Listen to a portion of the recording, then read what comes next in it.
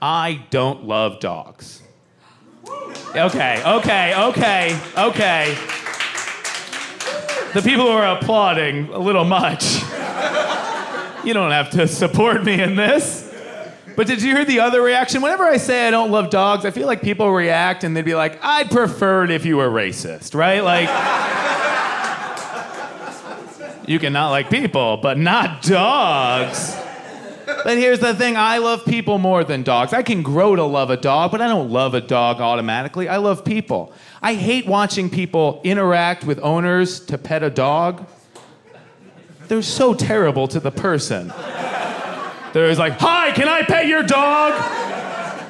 A gooty gooty goo. Who's a good boy? What's its name? Boy or girl?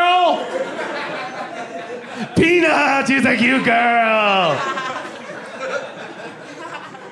I hate that. I want to do that to the owner.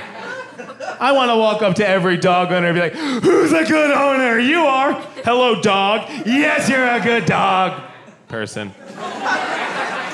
A Gucci Gucci Goo. Who's a good person? You are. You are.